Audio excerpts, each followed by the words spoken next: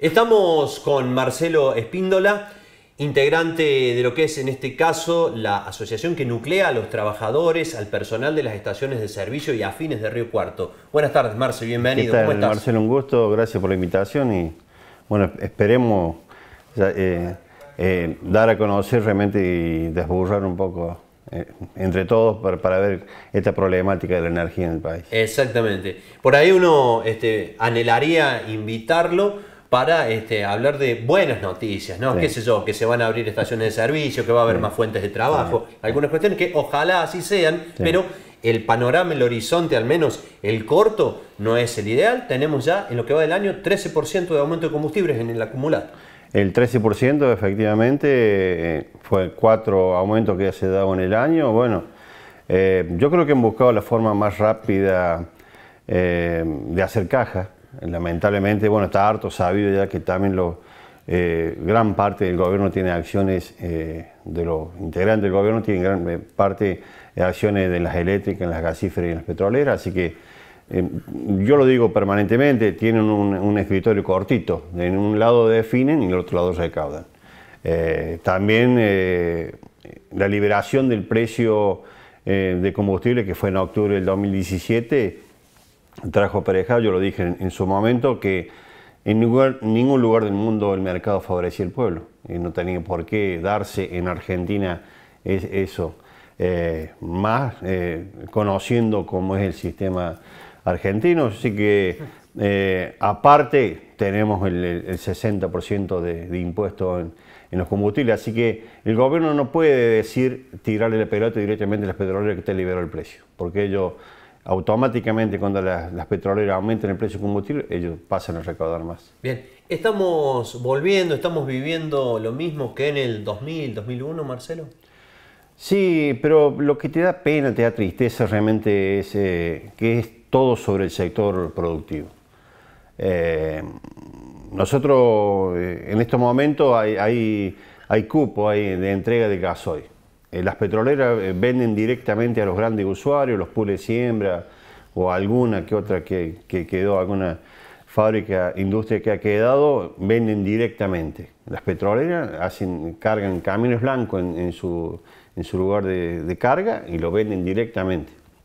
¿No pasa eso por la estación de servicio? No pasa por la estación de servicio. Eso yo lo he denunciado, yo lo vengo denunciando hace tres o cuatro años atrás por el hecho de que de esa forma trae aparejado que algunas estaciones de servicio van a cerrar y por consiguiente vamos a pérdida de trabajo. Así que es lo que queremos eh, eh, recalcar y lo venimos, lo seguimos denunciando. Ya hemos elevado a través de FETERA, nuestra federación a nivel nacional, le hemos eh, mandado una nota a la Secretaría de Energía, por supuesto no, no contestaron. Lo contestaron, la cajonearon, como, como tenemos todos, somos eh, aparte somos, somos CTA y somos un bicho medio, medio raro en este, en este país que, realmente eh, no negociamos, estamos siempre a favor del trabajador y los puestos de trabajo se defienden en la calle, como siempre decimos. Bien, a propósito de puestos de trabajo, ¿cómo está el sector?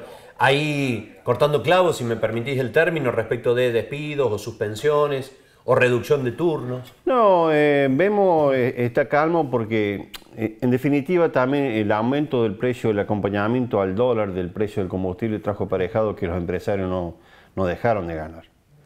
Entonces, viste, eso trajo, eh, eh, trajo aparejado, está bien, hay una merma en la venta, pero, pero fueron acompañando el ritmo de inflación y...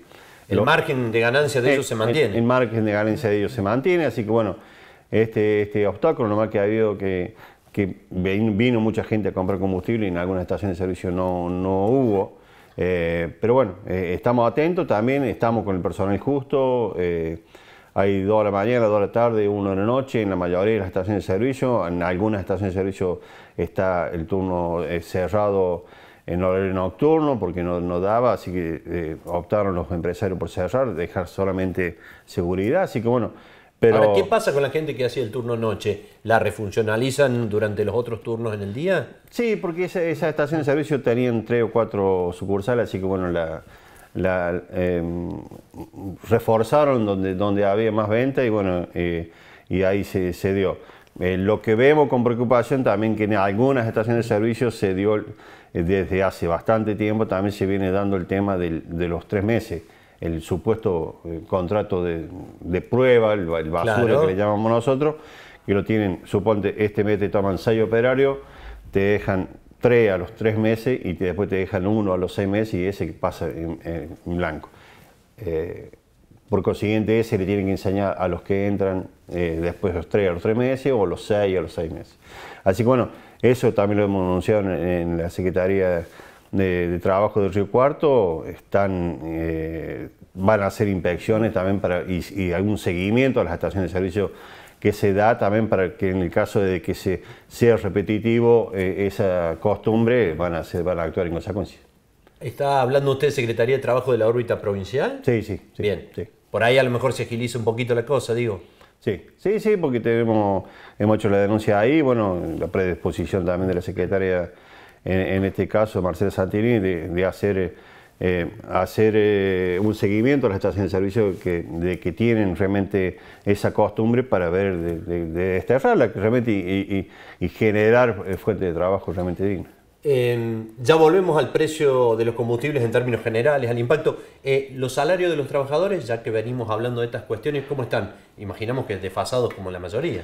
Sí, sí, hemos perdido fácilmente un 30% en estos dos últimos años.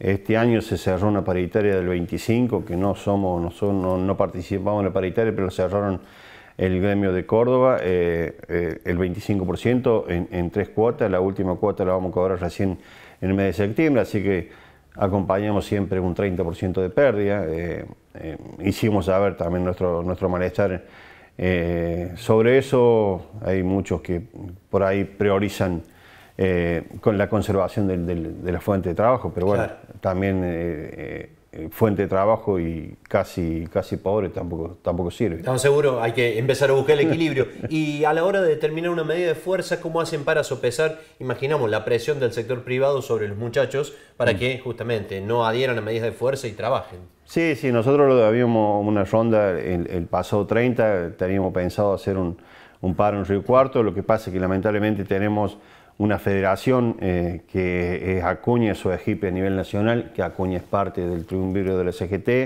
eh, un, eh, gremio provincial que tiene mayoría en la provincia que tampoco hace caso, que es pro oficialista, así que estamos mucho en desventaja, pero bueno, eh, ¿Ha quedado medio solo Río Cuarto en esa escalera? Sí, pero no, no queremos también exponer a, los compañeros a posibles eh, eh, conflictos, no queremos, nosotros hacemos, hacemos llegar, estamos permanentemente a través de las redes sociales o recorriendo la estación de servicio para ver si hay alguna anomalía. Pero bueno, estamos, estamos actuando en consecuencia. Nosotros queremos conservar la fuente de trabajo, no queremos exponer a los trabajadores tampoco a ningún conflicto. Hemos tenido cortes de estaciones de servicio en, seis oportunidades también en Río Cuarto, tampoco somos... Eh, eh, si tenemos que actuar, actuamos. Pero bueno, eh, el paro todavía no se está llegando. ojalá que, que, no, sea tarde.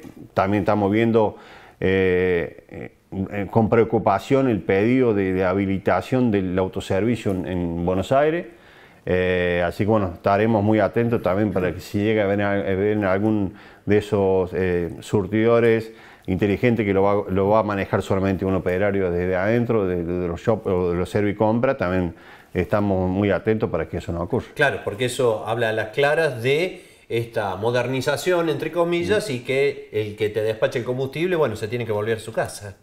Claro, pero, pero ahí hay, hay, un, eh, hay inconveniente, nosotros hacemos cursos también de seguridad e higiene, hay, hay muchísimo inconveniente eh, eh, y, muy, muy peligroso la carga, no es, no realmente hay que, ser medio especialista porque en el caso de que se carguen o se active el teléfono hay, hay y, cómo van a proceder también en los procedimientos de, eh, de posibles incendios, ojalá nunca ocurra, ojalá que que eso nunca pase, pero bueno, eh, nosotros estamos preparados en consecuencia para eso. Un, un, eh, un, un, automovilista común no está preparado para eso. Marcelo, ¿cuántas personas trabajan en las estaciones de servicio en Río Cuarto? ¿Cuántas familias digo, dependen de Somos 388 que estamos en, en, Río Cuarto, es un buen número, la verdad que eh, por ahí eh, es muy difícil reunirnos porque estamos las 24 horas, salvo Navidad y Año Nuevo, que, descansamos 8 horas, pero hay también operarios que eso también lo tenemos que, que lo vamos analizando con los, trabajadores para que realmente no vayan directamente nadie, eh, ni 24 ni, ni, el 31 de la noche a, las estaciones de servicio, porque, o sea, las estaciones de servicio permanecen cerradas, pero hay, hay me dice como guardia, trabajadores que están en guardia. Así que bueno, vamos a ver si este año tenemos la posibilidad de que realmente sea la policía quien custodia la estación de servicio o una guardia privada y no, no trabajadores. Esa fue una buena medida que, se, que, se, que nos sumamos nosotros, eh, una, una, medida a nivel nacional, que nos, nos sumamos eh, todo lo que tiene que ver con el beneficio de los trabajadores vamos a estar siempre de acuerdo. Bien, más allá de estos manotazos del Banco Central de los últimos días, porque el Fondo Monetario lo autorizó, ¿sí? Mm. Para que trate de retener el dólar, si sigue aumentando, sigue aumentando los combustibles, mm. después a eso lo vemos reflejado en las góndolas. Eh, ¿Cómo lo viven ustedes desde este sector tan en particular? ¿Con preocupación? Con preocupación y después con muchísima tristeza. Nosotros somos... Eh, por ahí psicólogos de, los automovilistas que van y, y realmente está ves a la gente triste, la gente está, dolida, está, de mal humor. Eh, llega a una estación de servicio, y lo primero que hace, no, no, eh, por ahí no quiere esperar. Eh, vemos realmente el, humor social está, está, está mal, está en aumento, nosotros lo vemos, porque tenemos clientes hace muchísimo tiempo también que lo, lo estamos atendiendo y, nos hacen saber su malestar. Pero yo digo, bueno, por ahí le prestamos oído, intercambiamos, hablamos de política, por supuesto, porque nos, nos encanta hablar de política, pero lo que yo les digo eh, que hay que organizarse, hay que organizarse y hacer saber eh, su malestar, no en una estación de servicio, sino a donde corresponde. Por eso hemos hecho en distintas plazas de Río Cuarto, también una junta de firmas contra, contra los tarifazos, ya llevamos casi mil firmas. Eh, le vamos a hacer notar al, sector político de que, eh, que, se tiene que preocupar eh, por el bienestar del pueblo. Lamentablemente esta crisis no la paga el sector político, el único lugar donde, donde mantienen sus privilegios intactos. Bueno, queremos hacerle notar que se, que se involucren, que se que noten el, descontento del pueblo a, través de la firma, de, una, de la firma de un ciudadano común que hace notar su malestar. Bien, ¿Está contando los días para votar en octubre o va piloteándola como puede? No, nosotros, por supuesto que vamos a apostar a un gobierno que sea nacional y popular lo más posible, que tenga el, pecho eh, pintado celeste y blanco, ojalá que haya una, conciencia y coincidencia de clase de que realmente hay que votar a, gente que quiera el país, no que mirando siempre al norte para quedar bien con sus, con sus con sus águilas de rapiña. Así que bueno, en ese camino vamos a estar siempre. Nosotros priorizamos el, país por sobre los intereses personales eh, y, yo creo que lamentablemente hay muchos dirigentes que no han estado a la altura de las circunstancias, muchas por miedo a, los carpetazos, viendo las carpetas, por miedo a los carpetazos o a, la justicia, eh, no tienen su lugar. Yo creo que hay que tener la grandeza suficiente de que eh, una carpeta implica que lo están señalando a ese dirigente, pero que ese dirigente no se olvide que detrás de, él hay muchísima gente que pasa necesidad. Entonces tienen que tener la suficiente grandeza de dar un paso al costado. Esto lo he dicho en todos lugares, así que no, no, no, no tengo por qué, por qué callarme en este, en este espacio. Yo creo que hay muchos dirigentes que no han estado a la altura de las circunstancias. Bien. Muchísimas gracias. No, por favor, un gusto, Marcelo, cuando, cuando siempre. Dale. Dale. Así pasaba Marcelo Espíndola, el representante de la asociación gremial que nuclea a los trabajadores de las estaciones de servicio en nuestra ciudad. Hacemos una pausa muy breve, ya volvemos.